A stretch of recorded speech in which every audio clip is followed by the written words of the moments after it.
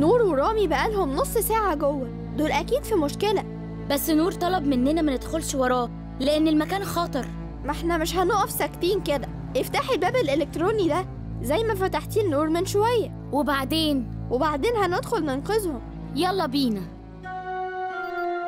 خلوني أكد لكم إن مهما كان الوهم مسيطر على تفكيركم مش هتوصلوا لحاجة. إحنا بنستعد للسيطرة على الأرض. حاليا بنخرج من العالم الافتراضي بأعداد قليلة وقريب هنقدر نستخدم البوابة علشان نخرج بالملايين.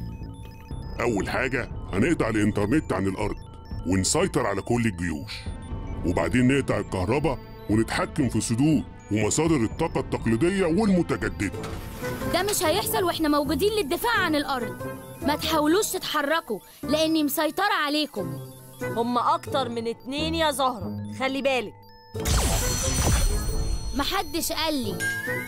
أسفة يا مطاطين لو كنت قطعتكم. مفيش وقت نضيعه. تعالوا نحبسهم في أي حتة ونبدأ خطتنا. أهلا مطاطين. ميتهيألي ده المفتاح اللي بيفصل الكهرباء عن الكمبيوتر. أنت ذكية يا زهرة. حل فصل الكهرباء عبقري. مش قلتلكم ما تدخلوش ورانا. ومين اللي كان هينقذكم؟ جاري استعادة التيار الكهربائي بعد دقيقة. 59 ثانية 58 57 تعالوا نهرب قبل ما المطاطين ترجع لهم 56. طاقتهم. مفيش وقت نضيعه.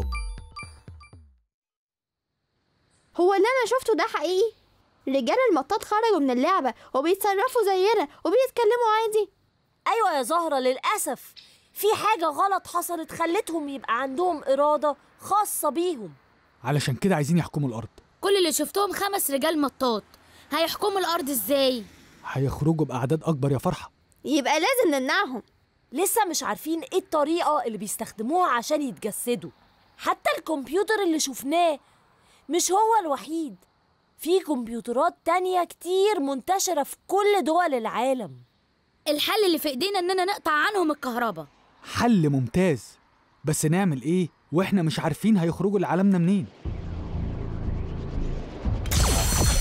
بصوا. شكرا يا جماعة علشان نبهتونا لنقطة ضعفنا.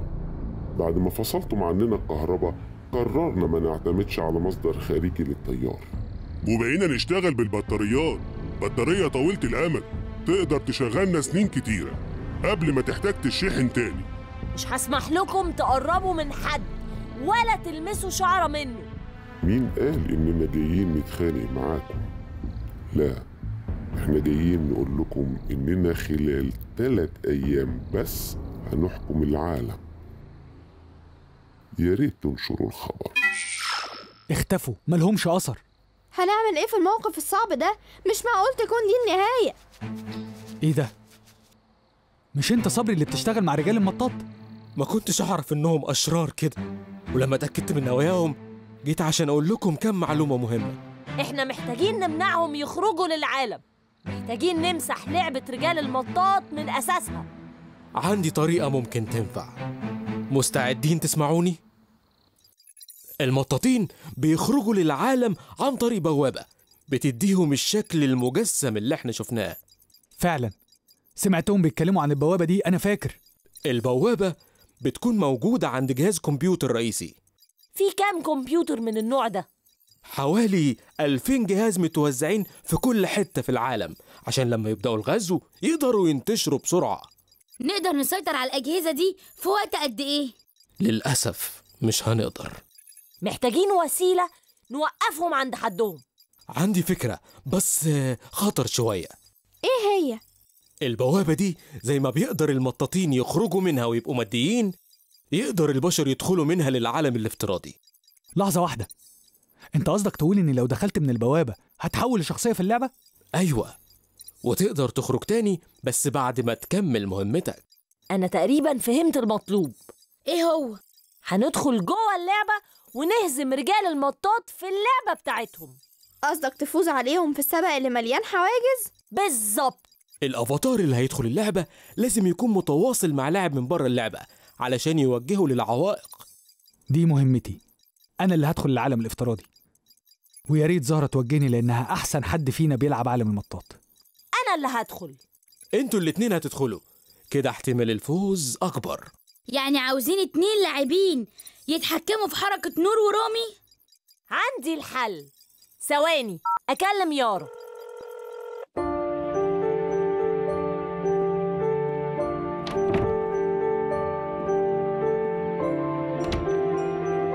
هنتحرك بهدوء وبسرعة لحد ما نوصل للكمبيوتر الرئيسي.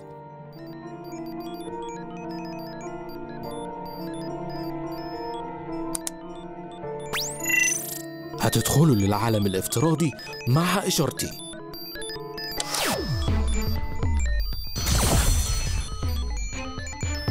إحنا مستعدين.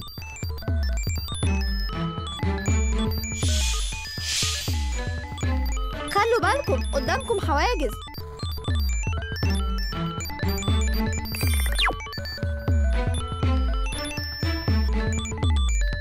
آخر حاجز يا نور. البحيرة يا رامي. عامل حسابها كويس.